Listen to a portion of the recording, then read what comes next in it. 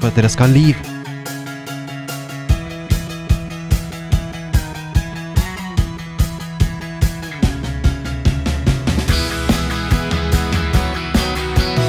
Det er jo nye skapninger. Du vil virkelig være med på å sette deg fri på. Guds ord at Gud han er kjærlighet. Du også er unik.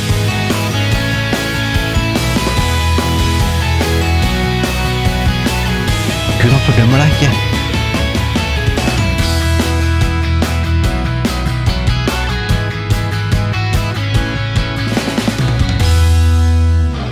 Hei, velkommen til eh, denne undervisningen eh, i dag. Og i dag så skal jeg egentlig ha en sånn enkel undervisning som eh, jeg har kalt for 'slapp av'. Og du lurer kanskje litt på hva det egentlig går ut på. Og det skal jeg forklare for deg etter hvert i denne undervisningen. Og dette er en sånn egentlig en enkel undervisning egentlig som jeg har på nettsidene mine bl.a. Og på nettsidene bibelundervisning.com eller nettbibelskolen.com. Og Eh, denne undervisningen i dag har jeg egentlig ikke et, et, si, et manuskript på, på en måte, eller jeg har ikke, en, har ikke skrevet ned sånn veldig konkret. Jeg har litt her med noen notater osv., men, men jeg har ikke skrevet ned alt jeg skal si. Så hvis du leter etter et, eh, en kompendium eller et, eh, en, en, ja, en, undervisning på, som er skrevet ned på nettet, så finner du ikke det på nettet. Men eh, mye, av det, mye, av det, jeg sier allikevel, det, det, kan du finne på nettet. Det kan du finne på bibelundervisning.com, og jeg har en del serier der sånn. Så, eh, så, eh, så, følg gjerne med på det på bibelundervisning.com eller på nettbibelskolen.com. Når du hører denne tittelen, så eh, lurer du kanskje litt på hva er det egentlig jeg, jeg, jeg, er ute etter, hva er det jeg snakker om? At jeg bare kan slappe av. Eh, og det jeg snakker om, er egentlig at du kan slappe av i kristenlivet ditt. Du kan ha et avslappet forhold til faktisk din far i himmelen. Og du kan ha et avslappet forhold egentlig til Gud. Og det er egentlig noe av det jeg skal snakke om i denne undervisningen. Og nå snakker jeg ikke om latskap eller, eller noe sånt, jeg snakker egentlig om at du kan slappe av i ditt forhold til Gud. Og det er egentlig det, det, mye av det som denne undervisningen snakker, handler om, egentlig. Og den undervisningen i dag. Og eh, Bibelen snakker en del om dette. her. Jeg skal lese noen skriftsteder til deg ganske snart. Og jeg skal lese noen skriftsteder om dette her med, med å slappe av. Eh, men Bibelen snakker egentlig mer om det å komme inn i hans hvile. Og Jeg kunne kanskje hatt det tittelen på det, men eh, det hadde kanskje fått mindre folk som hadde kommet inn og lytta på det. Eh, for når du hører tittelen, så kanskje du lurer på hva er det han snakker om. Men, men egentlig, det, det, det hele handler om, er egentlig komme inn i hans hvile. Komme inn i denne hvilen om å, om å hvile i det at Gud faktisk er glad i deg, at Gud faktisk elsker deg, og han aksepterer deg. Og det er egentlig det dette her, her egentlig handler om. Og det er det det hele egentlig handler om. Det er å komme inn i den hvilen, i den sikkerheten, i den tryggheten, i, i det å, bare vite det. At Gud faktisk, han er fornøyd. Han er faktisk glad i meg, han er faktisk glad i dag. Han, faktisk, han fryder seg faktisk over meg i dag. Han, han, ønsker faktisk å gi sin kjærlighet til meg i dag. Og du vet at det er veldig mange kristne som, som, som stresser. Som, kanskje du føler deg stressa. Kanskje kommet hit på denne undervisningen og du føler deg stressa. Du føler deg stressa i dag. Og du, kanskje du føler deg stressa fordi du har gjort en synd, kanskje. Eller for det, det, er, det er, kanskje syndevaner som du sliter med. Eh, og dette er kanskje ting som du sliter med i livet ditt. Og det kan også være problemer som du sliter med. Og du føler at det ikke er noe svar på det. Kanskje ting du har bedt om som du ikke har sett gå til oppfyllelse. Kanskje det er helbredelse du har bedt om, eller, eller kanskje det er penger du stresser med, osv. Og, så og eh, eller det kan være rett og slett det her at du føler at det er masse krav som du ikke helt klarer å nå opp til. Denne verden, bare denne, denne verden egentlig har setter egentlig veldig mange krav til, krav til, oss. Kanskje du er på jobben, kanskje, du, eh, kanskje du, du, føler at det er masse krav på jobben din, og, og, du føler at du ikke helt bra, gjør en bra nok jobb. Du føler hele tiden på dette her, at du ikke gjør en bra nok jobb, osv. Og kanskje det er familielivet ditt, kanskje det er i, i forhold til ekteskapet ditt. At du føler at du ikke, ikke strekker opp, at du, du føler at du, du, du mislykkes så altfor ofte eller i, i, ting. Du kanskje har lovt ting eh, til kona di eller til mannen din og ser at du skal skjerpe deg og, og sier at nå skal ting bli bedre osv. Men du føler at du, ikke får det til. Du føler deg stressa. Du føler at, at du ikke, ikke, ikke helt får, får til dette her med, med, å hvile i det som Jesus har gjort for deg osv. Eller hvile i kristenlivet ditt heller, eller i familielivet ditt, eller, eller, eller til og med på jobben. At det er, det er, ting som stresser deg. Det er ting som stresser deg opp. Og, og kan, kanskje du også har dette her i, i ditt kristenliv også i forhold, til, i forhold til Gud. Kanskje du opplever det i, kanskje på jobben, i forhold til mennesker du jobber sammen med, kanskje i forhold til sjefen din, eller i forhold til det, de du jobber sammen med, osv. Så, videre, så kan du føle på disse kravene. Og så Kanskje du føler det hjemme, kanskje du føler det i forhold til foreldrene dine, eh, svigerforeldrene dine, eller til, eh, til kona eller mannen din, eller til barna dine også. Og og du føler hele tiden dette her at det er et krav som du må, som du må prøve å oppfylle. Og fordi du, du føler det, så, så, føler du også det litt i ditt forhold til Gud. Du, ofte så, så, så, setter du de tingene der over på Gud også, og du tenker at eh, Gud må også være sånn. Han må også ha mange krav til meg. Han har jo krav om hellighet. Kanskje lest uh, i Matteus, i Matteus 5-7, uh, som egentlig det handler om, om Eh, en, en, tale som Jesus hadde, som kalles for eh, bergprekenen, heter den, den, den, prekenen han hadde. En tale som han hadde, Jesus hadde. Og eh, jeg vet at den, denne prekenen det egentlig stresser mange kristne. Fordi Jesus han setter en veldig høy, høy standard i bergprekenen. Og, og, vi tenker at ja, vi må prøve å, å følge bergprekenen så godt, så godt vi kan. Og eh, Jesus sier bl.a. at 'vær perfekt'. Vær 100% perfekt, slik som min far er perfekt. Og Han snakker også om, om dette her med at uh, hvis en mann ser, ser, på en kvinne med lyst til sitt hjerte, så, så har han allerede drevet tor med ham, og hvis han gjør det, så skal han kutte av hendene sine osv. Og, så og vi leser de skriftstedene der og blir litt redde. Vi blir litt stressa når vi leser skriftsteder som det. Og til og med Jesus sier dette her at hvis du er sint på din bror, så er det, er det samme som å drive, drive ikke drive hor, men, men å, å, å, myrde, så er det samme som å myrde. Og Jesus sier videre, i, bl.a. i, i Matteus 6, og snakker han om dette med tilgivelse. At du må tilgi perfekt, slik som din far, uh, slik som din far tilgir perfekt. Og hvis ikke du tilgir andre mennesker, så kan ikke din far tilgi deg, osv. Og, og vi leser disse skriftstedene, og vi blir faktisk litt stressa. Og vi tenker at hvis det, hvis det bare jeg, jeg, må prøve å leve, leve, så hellig som mulig. Hvis jeg bare klarer å be nok, lese nok i Bibelen eh, Hvis jeg bare vitner nok Jeg må vitne på, på, på, jobben, jeg må vitne på skolen, jeg må vitne på alle, alle, steder jeg går. Og Jeg har møtt mange kristne som har vært stressa på dette her med evangelisering, f.eks. At vi må, jeg, Uansett hvor jeg går, så eh, jeg vil ikke ha, ha deres blod på hendene mine. på en måte. Hvis ikke de får høre om Jesus, og hvis ikke jeg forteller dem om Jesus, så vil de gå fortapt. Og mange er stressa rundt disse tingene. Og vi er stressa for at vi på en måte ikke klarer å nå opp til de krav som Gud har til oss. Vi føler at lista er på en måte langt der høyt, høyt der oppe, og vi hele tiden prøver å klatre opp til å prøve å nå, nå opp til den standarden som Gud har satt. Og Vi prøver så godt vi kan, men vi føler hele tiden at vi feiler. At den er der oppe, men vi føler hele tiden at vi feiler. Og kanskje vi føler at vi, vi klarer oss noenlunde bra. Vi føler at det har kommet litt, litt høyere. Kommet litt, litt lenger. Og jeg, jeg, har en lykt her sånn. Og, og, ofte kan vi kanskje føle noen ganger at, at kristenlivet er litt, litt, som denne lykta, på en måte. At vi har lykta her sånn. Og, og, og vi ser litt fram, og, så går vi etter lykta. Vi går etter der som på en måte lyset, lyset er. Og, eh, men tingen er at jeg, når jeg beveger meg, så beveger også lyset seg. Det vil hele tiden, hele tiden bevege seg. ikke sant?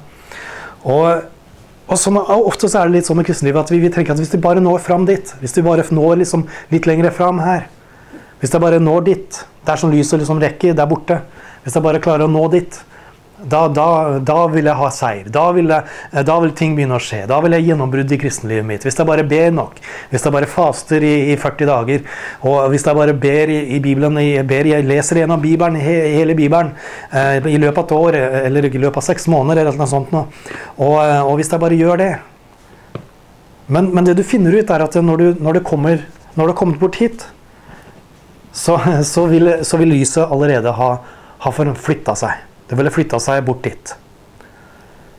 Så, så hele tiden så vil, vil, dette lyset det vil flytte på seg. Og, og, og, Av og til så føler vi at kristenlivet er litt slik. At vi går sånn en lykt. Vi ser liksom litt bort, og vi, ønsker å komme dit. Og når vi kommer dit, så har, har lykta på en måte, har lyset flytta seg.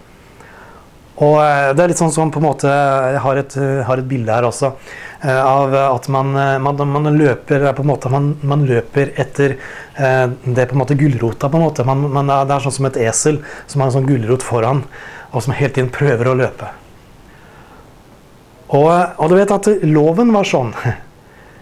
Du vet at det er loven som du leser om i Bibelen, loven var perfekt, og den er perfekt fremdeles. Den er 100% perfekt. Den er så perfekt. Og det var det, det noe av det som Jesus faktisk også Når han underviste i bergpreken, så var det faktisk det, det jeg tror. Og det, det jeg kan det, er en del forskjellige meninger om dette med, bergprekene. Men, men, slik jeg ser bergprekene nå, det, det, er veldig mange som ser det på samme måten, så jeg er ikke, jeg er ikke alene om å gjøre det. Men jeg, jeg, tror virkelig at det er det som Jesus sitt poeng i bergprekenen. Og du kan lese, Bergpreken må du lese i sin sammenheng. Og hvis du leser hele bergpreken i sin sammenheng, så tror jeg du faktisk vil kunne se det du også. At det som Jesus sitt poeng er at ja, loven er perfekt. Og, og, og, jo mer vi prøver å streve for å oppnå loven, for å prøve å oppnå krav og bud og regler osv., jo mer vi stresser med det, jo mer frustrert blir vi. Og Jesus, Jesus setter en liste som er umulig å holde. Men jeg mener, Jesus sier jo dette her at vær perfekt. Slik som min far er perfekt. Hvordan skal vi klare det? Og han, han sier også at, at, deres rettferdighet må overgå fariseerne. Dvs. Si de, de, de, de, de, religiøse lederne på den tiden som egentlig ikke gjorde noe annet. De hadde fulltidsjobb med å følge loven, med å følge bud og regler. De hadde fulltidsjobb med å gjøre det. Og han sa at deres rettferdighet må overgå fariseerne. Skal dere ha noensinne ha en mulighet til å komme inn i himmelens rike, så, så, så må dere oppfylle, eh, oppfylle, dette her. Så må, det, må, må deres rettferdighet overgå fariseerne. Og Jesus sitt poeng er egentlig å frustrere oss, egentlig. Og det er mange som leser Bergpreken og er litt, er litt redde, fordi de er redd for at de ikke klarer å nå opp til det. Og kan han gi deg en nyhet? Du vil aldri kunne nå opp til Bergprekenen. Du vil aldri kunne opp til, nå opp til de krav som, som, er der. Og nå sier jeg ja, men Gud vil gi oss nåde til, til å, å, å, leve dem ut. Men ofte oftest så er det, er det likevel det at vi, vi blander egentlig, så, så, det vi gjør, er egentlig at vi blander litt, litt lov og litt nåde. Så, så vi tenker at ja, vi, vi, må prøve å følge loven så godt vi kan, og gjøre det så godt vi kan. Og så, så når vi feiler, så, så, er Gud der, på en måte. Og, og, og, og loven vil gi deg Loven vil svekke deg, egentlig. Den vil faktisk gi næring til synd. Men faktisk det som nåden vil gjøre, er at den vil ta hånd om problemet med synd. Og, og den vil ta hånd om egentlig dette, dette strevet med å prøve å, å få, til å oppnå noe. Nåden vil gjøre at du lever det kristne livet ut, eller lever kjærlighet ut. Nåden er egentlig kjærlighet, og nåde er noe av det samme. Eller er egentlig det samme. Og kjærlighet er en person, og nåde er en person. Det er personen Jesus. Og når du blir kjent med ham, når du blir kjent med hvem han er, at han faktisk bor på innsiden av deg, og, du begynner å oppdage hvem han er i deg, så vil dine handlinger begynne å være lik hans. Det er når du begynner å oppdage hvem du er. Ofte så tenker vi at vi, vi må prøve å bli noe som vi allerede ikke er. Vi prøver å nå opp til dette. her, Vi prøver å løpe etter en, en sånn, sånn uh, lykt. Og vi tenker at hvis vi bare når dit, hvis vi bare kommer dit, da, da vil vi ha seier. Da vil vi være lik Jesus osv. Men kan jeg fortelle deg en sannhet? Du er faktisk lik Jesus allerede på innsiden, for han bor der. Han er der allerede, og det det handler om, er å oppdage det. Og, og det, det, det, livet, det, det kristenlivet egentlig handler om, det er ikke et strev, det er ikke å prøve å få det til bedre, det er ikke å, å stresse. Det er ikke prøve å prøve å, å nå opp til disse kravene. Men det er en opptagelseferd, egentlig. Det er å oppdage hvem du allerede er, og hva du allerede har fått. Grunnen til at du synder, grunnen til at du gjør gale ting, er fordi du har ikke, du har ikke kunnskap, egentlig. Du har feil kunnskap om hvem du er. Du har feil kunnskap om, om hva som har blitt gitt deg. Det er det som egentlig det er egentlig det der, som, det er der nøkkelen egentlig ligger. Og Jesus, du vet at Bibelen handler ikke om alle de tingene du må prøve å få til. Det handler ikke om alle tingene du må prøve å gjøre. Men det handler faktisk om å komme inn i Guds hvile. Det handler om å komme inn i hvile. Hvilen, egentlig. Så, så, Bibelen har mange skriftsteder på dette her. Om å komme inn i Guds hvile. Om å, om å slutte å streve. Streve sjøl. Selv. Selvstrev. Men det, er, men, men det, er, mange skriftsteder som handler om det å komme inn i Guds hvile. Og jeg skal gi deg noen skriftsteder her nå. Vi, vi kan lese noen skriftsteder her sammen i, i, fra Bibelen. Og jeg håper at de kan få lov til å være en oppmuntring for deg. At du også kan få lov til å oppleve dette her. Å komme inn i Guds hvile. Så Vi kan begynne her i hebreerbrevet, som egentlig er kanskje mitt, mitt hovedskriftsted for i, i, dag. egentlig. Hebreerne 4, 10-11. Så står det at eh, for den som har kommet inn til hans hvile, har også selv fått hvile fra sine gjerninger, slik Gud hvilte fra sine. La oss derfor være ivrige, eller la oss streve etter. Strebe etter. Det er én ting som, jeg, som egentlig Gud har sagt at vi skal streve etter. Streve etter, egentlig. Det er kun én ting. Kun en ting som han har sagt at vi skal streve etter. Og det er å komme inn i hans hvile. Komme inn, eh, Vær ivrige. Derfor er ivrige veldig strev etter å komme inn til den hvilen, denne hvilen. For at ikke det skal falle i samme eksempel på ulydighet. Han snakker om, egentlig om Israels folk i ørkenen her. At de i, de var ulydige fordi de ikke opplevde å komme inn i hvilen. Fordi de ikke strevde med oss hvile i Gud, stole på Gud. Og grunnen til at eh, du er vantro, grunnen, eller grunnen til at du faller i synd, er nettopp dette her at du ikke har trent opp til å stole på Gud. Og det var det som Israels folk ikke gjorde i ørkenen. De stolte ikke på det Gud hadde sagt. Og, eh, og, og, det som vi må trene oss til å gjøre til, for å komme inn i denne hvilen, er rett og slett å stole på Jesus. Stole på det som Jesus har allerede gjort for oss. Og det, handler ikke om hva du skal gjøre, men det handler om hva Jesus har gjort for oss. Og hva allerede har blitt gjort ferdig. Og det er det det egentlig, Hvis du leser hele hebreerbrevet også, så, så, vil du skjønne, vil du få tak i dette her at, at det som det egentlig hebreerbrevet handler om, det er dette her at det finnes en bedre pakt. Det finnes noe bedre enn det som de opplevde i Det gamle testamentet. Dette var skrevet til hebreere, til jøder, som ønsket faktisk å gå tilbake igjen til jødedommen. Som ønsket å gå tilbake igjen til loven, egentlig. Og, eh, og, og, de ønska å stole på loven istedenfor å stole på Gud. Og stole på det som Jesus hadde gjort for dem. Så ønska de å gå tilbake til loven og stole på loven istedenfor. Men, eh, men så er det, er det hebreerets forfatter som ikke helt vet hvem er. Det, kan, det kunne ha vært Paulus, og kanskje det er Paulus som har skrevet det. Vi vet ikke. Men uh, men så snakker han om dette her at vi må komme inn i hans hvile. Så at slik som Gud har hvilte fra sine gjerninger og har skapt verden osv., så, videre, så så kan vi få lov til å hvile ifra våre gjerninger. Og Vær derfor ivrige til å komme inn i denne hvilen, for at de ikke skal falle inn i det samme eksempelet på ulydighet som de som vandret i ørkenen. Som ikke stolte på Gud. Men du kan, du, men du kan få lov til, det gode nyheten er at du, du kan få lov til å oppleve å komme inn i denne hvilen. Den er gjort ferdig for deg. De som var i Det gamle testamentet, hadde faktisk ikke dette gjort ferdig for dem. Og de, de, de opplevde dette her, at de måtte streve for å komme inn i noe hvile. Og loven gjorde, gjorde ikke at de fikk noe fred og ro, egentlig. Den bare førte til mer frustrasjon. Og det førte, til mer strev, det førte til mer stress. Men, mens, mens, eh, så kommer de gode nyhetene og sier at eh, du kan, du kan slappe av. Du trenger ikke å stresse med det lenger. Og det er mange som, som, reagerer når de hører på dette her og tenker at ja, men da kan jeg gå ut og synde så mye jeg vil. Og Det er et miskonsept, det er, et, det er en misforståelse av hva nåde egentlig er. For nåde vil ikke få deg til å synde, det vil faktisk få deg til å ikke synde. Eh, så hadde, I dag så skal jeg ikke gå så, så mye inn på akkurat det, fordi dette er bare en sånn enkel undervisning.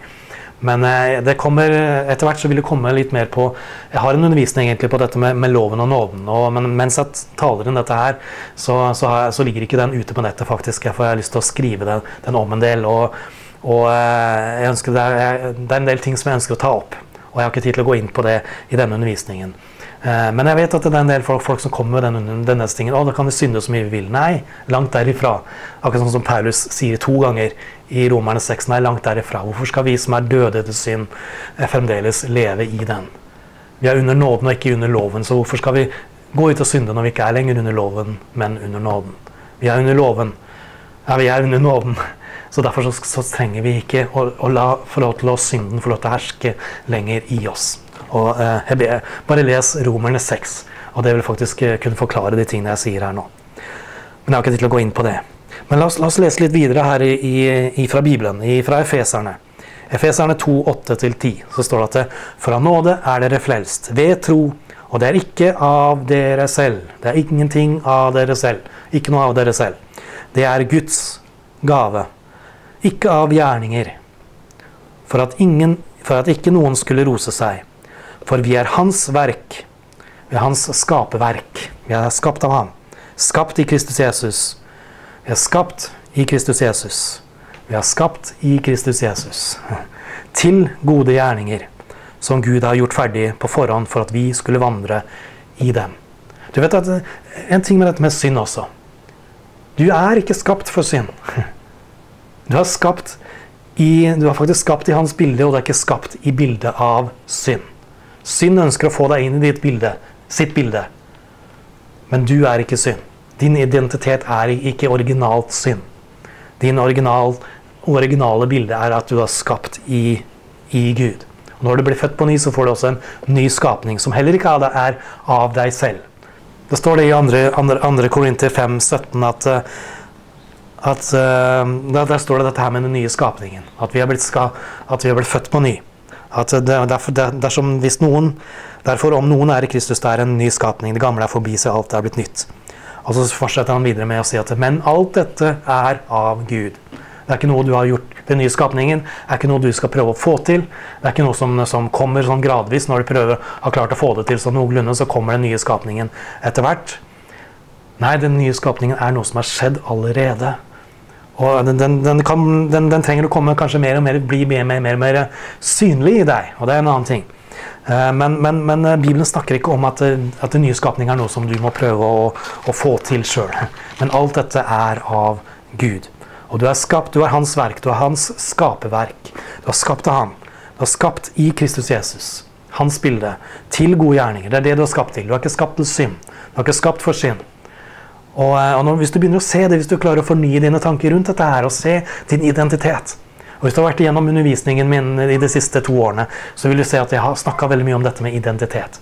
Og det kommer jeg fortsatt til å gjøre eh, til jeg dør, dør sannsynligvis. Eh, for jeg, jeg, har sett igjen og igjen at det her er nøkkelen. Det er nøkkelen til et seirende kristenliv. Det er nøkkelen til at du skal, skal, vinne over denne makten som heter synd. For det er noe som heter synd. Jeg tror på det. Noen, noen som, det er en del sånne anklager som har blitt sagt imot eh, folk som forkynner nåde. Og jeg er veldig sterk på dette med nåde, å forkynne nåde osv. Eh, og noe av den, den, eh, beskyldningen vi har fått, den anklagelsen som, som, mange som forkynner dette, det samme som jeg forkynner, har fått.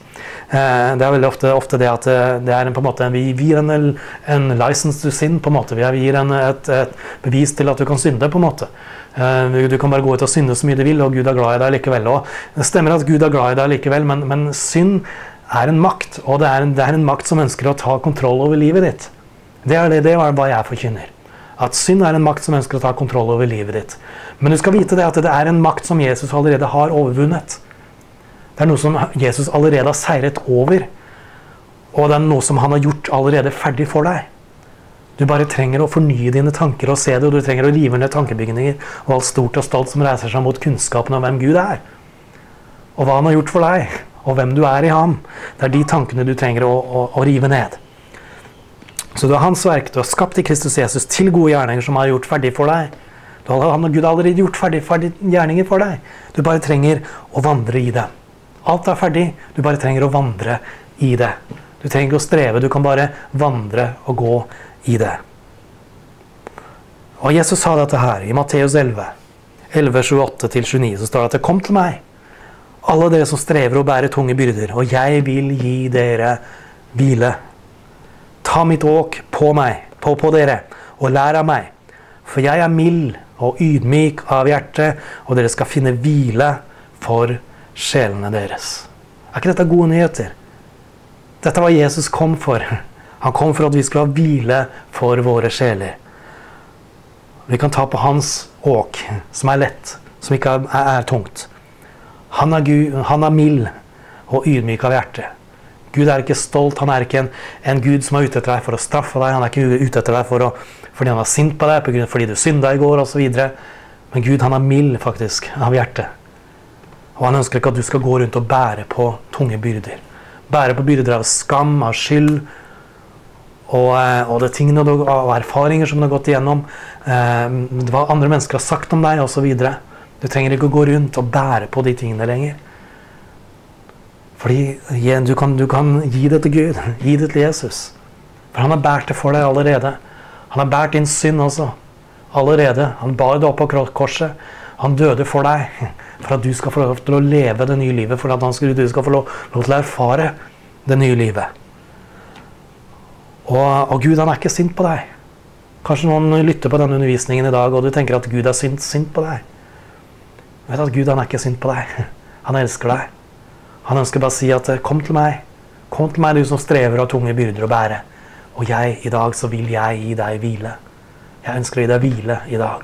Det er det jeg ønsker å gi deg. Jeg ønsker ikke å gi deg fordømmelse. Jeg ønsker ikke å gi deg skyld. Jeg ønsker ikke å gi deg skam. Jeg ønsker ikke å fordømme deg. Heller ikke jeg fordømmer deg. Gå bort og synd ikke mer. Det er det som Jesus ønsker å fortelle deg. Det er det Jesus ønsker å si. Han ønsker ikke å fordømme deg. Han ikke, kommer ikke med å fordømmende pekefinger når du har gjort en feil, når du har gjort en synd. Men han sier 'kom til meg'. Kom til meg. Når du har synda, løp tilbake til din far. For, for du, du, klarer ikke å, å, å, stå imot denne synden. Du klarer ikke å stå imot uh, alle disse tingene på egen hånd allikevel. Du har skapt til fellesskap. Du har skapt til å ha fellesskap med din far. Og det, du har skapt for det. Og det det, når du har tatt imot Jesus, så du, er du blitt ett med ham. Du lever ikke lenger selv. Det livet du nå lever, det lever du ikke lenger selv. Du er korsfestet med Kristus, og du lever ikke lenger selv, men det liv du nå lever. For du lever fremdeles et liv. Du har et liv, du har en identitet også, og du har et liv. Og det livet som du lever, som lever nå, det lever du i troen på Hans Sønn. Han som elsker deg. Du lever i troen på Jesus. Han som elsket deg, og som gav sitt liv for deg. Dette står i Galaterne 2,20. Så eh, så Jesus ønsker å bringe deg inn i hans hvile. Så du kan hvile. Du kan senke skuldrene, og du kan hvile og slappe av i det som Jesus har gjort for deg. Og eh, et, et, et, eh, et skriftsted også i Lukas. I Lukas så, så, eh, så ser vi, så ser vi den, denne historien om Martha og Maria. Og Martha var veldig opptatt av alt det hun skulle gjøre. Alt hun måtte tjene for Gud osv. Tjene Jesus. Jeg var veldig opptatt av det at jeg må tjene Jesus. Jeg må, jeg må gjøre allting. Jeg må gjøre hus i orden, jeg må lage mat, jeg må gjøre alle disse tingene. Men så hadde hun en søster som het eh, Maria. Og Maria satte seg ved Jesus sine føtter og lytta til Jesus og hadde fellesskap med Jesus. Og så, så kom Martha eh, hun, hun, var veldig travelt opptatt, og hun, hun ble sint på, på søstera si.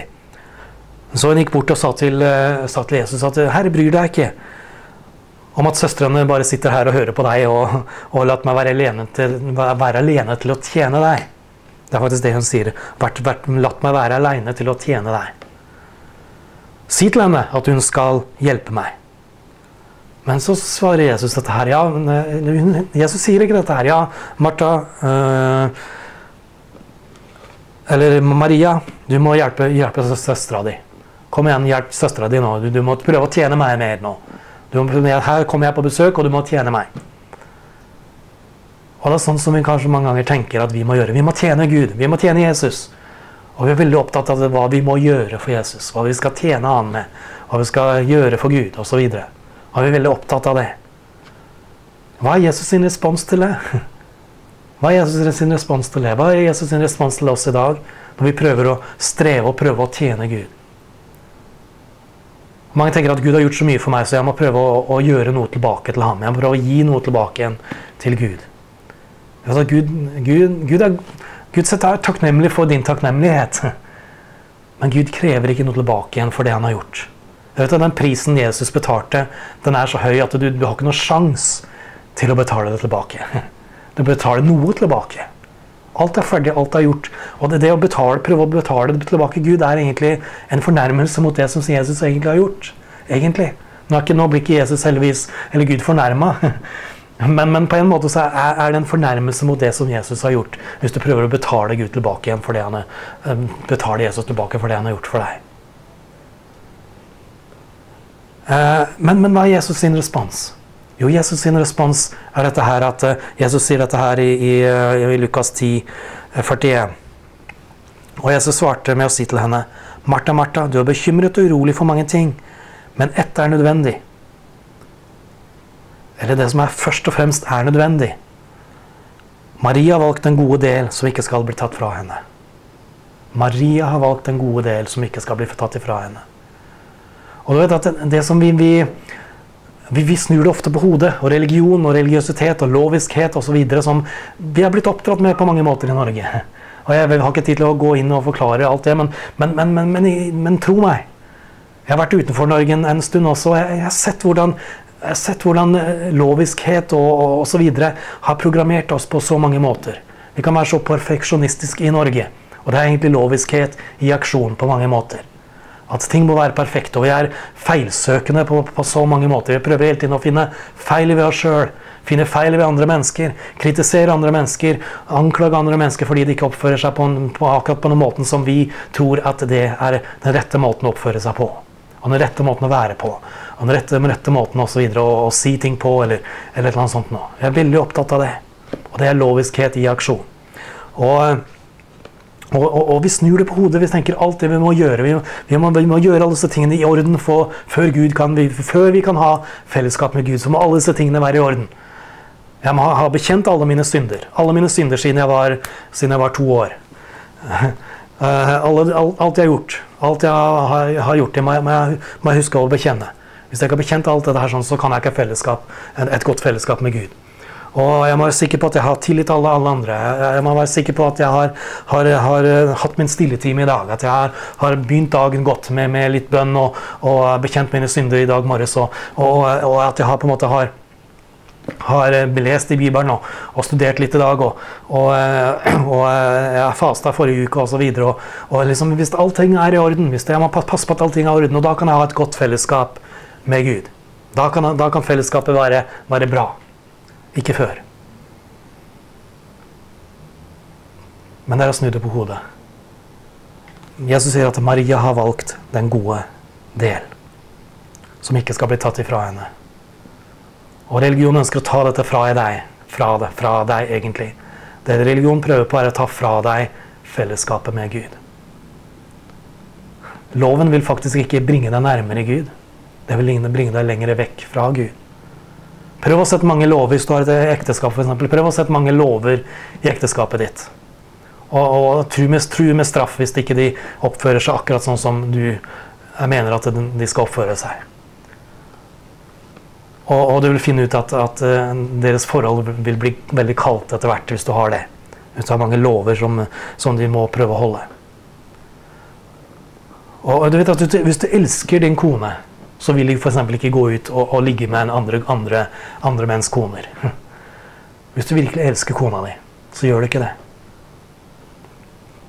For det det handler om, er fellesskap. Hvis du har et nært fellesskap, og godt fellesskap med kona di, så trenger du ikke masse lover om hva dere, dere kan gjøre og ikke gjøre.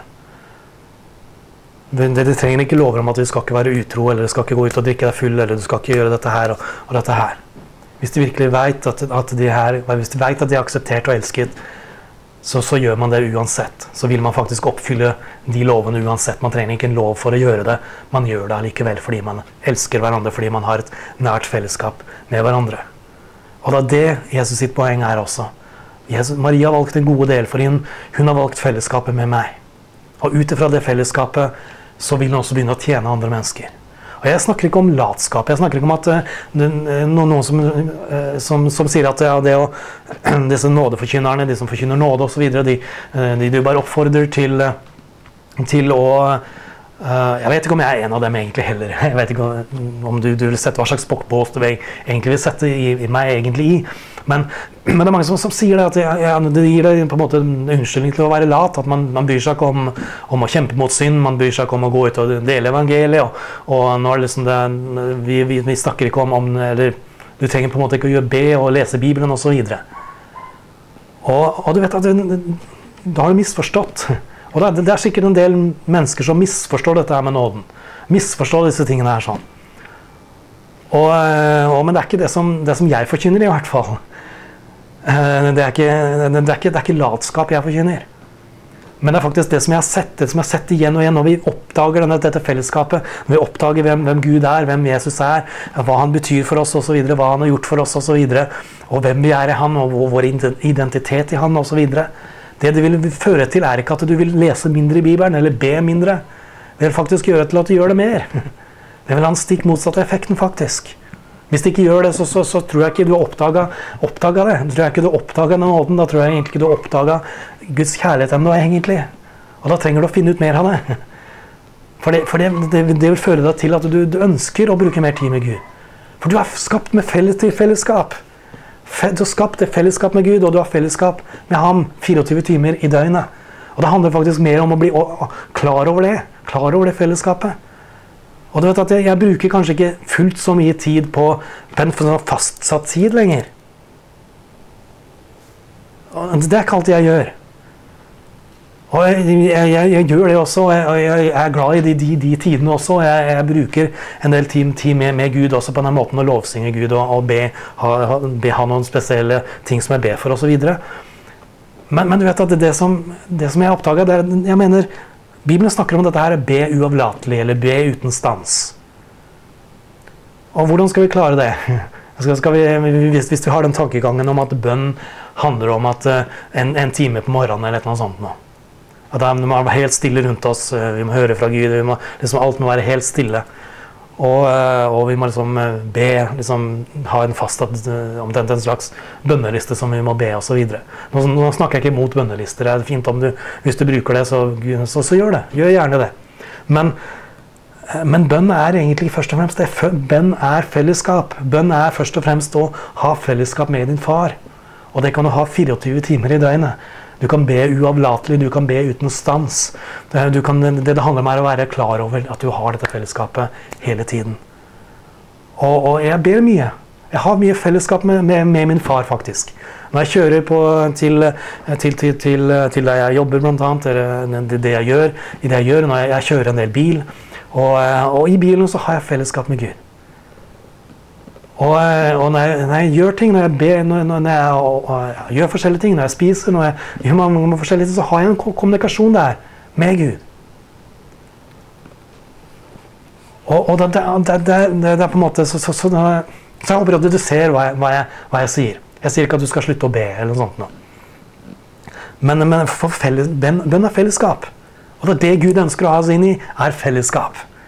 Fellesskap med Ham. Og det er det Gud ønsker først og fremst at vi skal ha.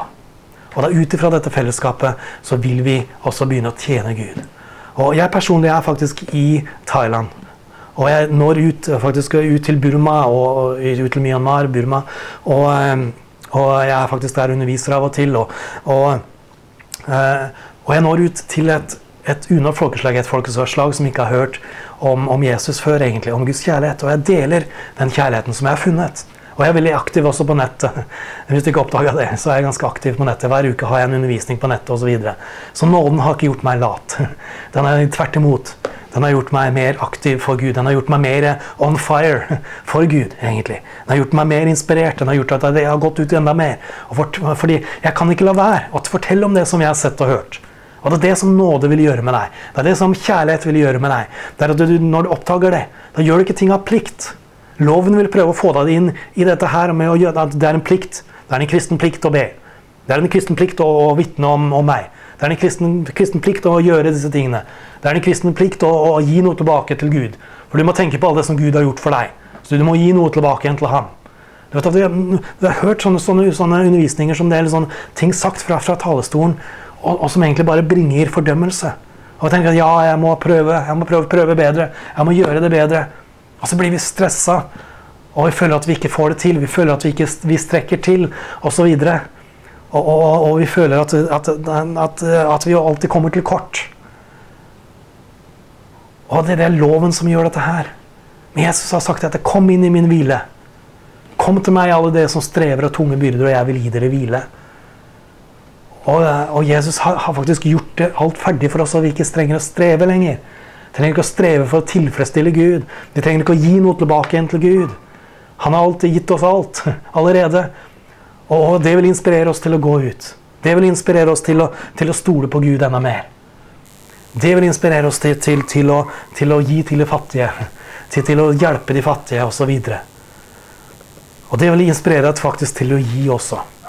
Jeg, vet at jeg har, jeg har en, faktisk en undervisning om dette med, med, med penger og tiende osv. Og, så og du vet at jeg, til og med dette her er noe som, som, som, som en del kristne stresser over. Tenk om jeg ikke gir nok. Tenk om jeg, er, er, er, er Dette med gi tiden, er det før eller etter skatt? Må jeg gi det før eller etter skatt? Og, og man tenker må jeg gi det på øret, på en måte. Hva, hva skal tenk om jeg ikke gir akkurat 10 Du vet at Vi er kommet inn i en ny tid der jeg tror faktisk ikke at du må gi 10 Jeg har en hel undervisning på det, så skal jeg ikke undervise om det i, i denne undervisningen her. Men, men, jeg tror faktisk ikke Gud sier at i Det nye testamentet så må du gi 10 Du trenger ikke å stresse med det. Du kan hvile. Du kan komme inn i hans hvile på akkurat på det området også. Og det, hvorfor begrenser det til 10% Jeg mener, hvis, hvis, Gud får berørt i hjertet ditt, eller får, får på en måte åpenbart for deg hvem du er, og hva du har osv., i ham osv., så, så, så, vil du gi mer enn 10% Det handler ikke om 10 egentlig. Hvis du ønsker å gi 10 så er du fri til å gi 10 Du, du, du er ikke bundet til en lov som sier at du ikke skal gi 10% heller. Du er fri til å gjøre det. Og Gud velsigne deg det. Og hvis det er en, en, enkel måte for deg å gjøre det på, og du har gjort det i mange år, og, og du ønsker å fortsette med det, så gjør det. Men er ikke, det er ikke en plikt. Du er ikke under noen plikt. Gud har satt deg i frihet. Det er til, til frihet Kristus har frigjort oss. Galaterne 5.1. Det er til frihet Kristus har frigjort oss. Og hva er det Kristus har frigjort oss, gjort, fri oss, frigjort oss ifra? Jo, faktisk ifra loven. I lovens bud osv ifra denne stresset med å leve under loven.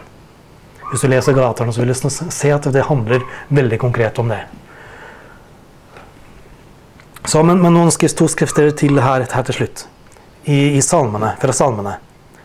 Der står det at eh, den som bor i den høyeste skjul, skal hvile i denne oversettelsen her i Bibelen Guds ord. Så står det at eh, den som bor i den høyeste skjul, skal hvile under den allmektiges skygge. Du kan hvile under Guds skygge. Han, er, han vil beskytte deg. Du kan hvile under hans skygge. Jeg vil si om Herren, han er min tilflukt og min festning, min Gud, som jeg setter min lit til, eller jeg vil sette min lit til ham, står det i den oversettelsen. Noen oversettelser sier 'som jeg setter min lit til'. Du kan sette din lit til ham. Og Når du setter din lit til ham, så vil du komme inn i hans hvile. Så vil du erfare hans hvile. Du vil erfare hans hvile når du setter din lit til ham. Og eh, Ta med også salme, salme 23 her. Eh, Herren er min hyrde. Og dette, dette, er noe som vil lede deg inn i hvile. Det står at Herren er min hyrde. Jeg skal ikke mangle, jeg mangler ingenting, eller jeg skal ikke mangle noen ting. Han lar meg ligge i grønne enger. Han leder meg til hvilens vann. Han leder meg til vann der jeg kan finne hvile, står den andre oversettelse, tror jeg. Han leder deg til hvilens vann. Han fornyer min sjel. Han leder meg på rettferdighetens stier for sitt navns skyld. Og det er, noen, det er noen utrolig store nøkler her. sånn. I det som David hadde sett I Det gamle testamentet allerede så hadde David sett dette her. At Herren er min hyrde. Jeg skal ikke mangle noen ting. Han leder meg til hvilens vann, til vann hvor jeg kan finne hvile. Og han fornyer min sjel. Han gjør at min, min, min sjel blir fornyet. Eh, han leder meg til rettferdighetens stier for sitt navns skyld. Gud vil lede deg. Han vil lede deg. Og jeg vil bare si dette til slutt, at ikke stress med hva som er Guds vilje. Ikke stress hele tiden med det. Jeg har møtt mange mennesker som stresser med det. Hva med Guds vilje? Hva, er dette her Guds vilje? Er dette her Guds vilje? Kanskje jeg, jeg går glipp av Guds vilje? Kanskje Gud straffer meg fordi jeg ikke helt har fulgt Guds vilje? Og, så videre. og det er mange som stresser med dette her med Guds vilje. Hva er Guds vilje for mitt liv? Hvem skal jeg gifte meg med? Hvem skal jeg gjøre dette her med? Du vet at mange, I mange mange situasjoner så sier Gud hva vil du? Rett og slett, hva vil du? Hva, vil, hva ønsker du? Og jeg sier at Hvis du ønsker dette her, så er jeg med deg. Selvfølgelig så, så oppfordrer ikke Gud deg til å synde hvis det er han snakk om det. Men, men, jeg tror at det er veldig mange ting i jeg mener, men Skal jeg ha det huset eller skal jeg ha det huset? Hva er det jeg egentlig ønsker? Mange som er redd for at ja, jeg, hvis jeg ønsker for dyrt, det kan ikke være for dyrt, og videre, og hva andre folk så videre. Men, men slapp av. Bare slapp av. Hva ønsker du? Hva er det du ønsker? Og du vet at Gud han ønsker å velsigne deg i det. Han ønsker å være med deg i de valgene du tar. Og jeg, jeg, Gud, Gud ønsker å lede deg. Han ønsker å lede deg til å ta gode valg. Ja, han ønsker det. Men ikke vær redd for at han ikke vil være der og lede deg heller. Men bare stol på det at han er der for å lede deg. Han er din hyrde. Han vil hjelpe deg. Han vil lede deg til vann der du, skal, der du finner hvile. Det er hans vilje for deg at du skal finne hvile. Og midt i, midt i omstendigheter, midt i vanskeligheter, midt i vanskelige ting som du opplever, så, så, eh, så, så er han der. Han er der for deg, og han er med deg. Han vil aldri slippe deg eller forlate deg. Så du kan hvile. Du kan bare komme inn i hans hvile i det. Han er med deg. Han er, vil ikke slippe deg, vil, vil, ikke forlate deg. Han er der. Han, ikke, han, han, er alltid med deg, og han er der alltid. Så bare stol på det. Bare hvil i det. Du kan komme inn i hans hvile. Gud velsigne deg. Og jeg vet at Gud har en fantastisk plan og fantastiske planer for ditt liv. Gud velsigne deg.